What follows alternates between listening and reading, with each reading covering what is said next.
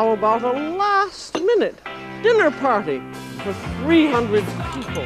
You think that's probably cuckoo to do. And here is how to get ahead of the game. A mountain of meat. It looks rather cute that way anyway. Here, you can just whack it up.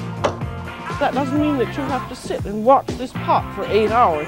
You can go out and play a snappy game of croquet and go to the movies. Voila.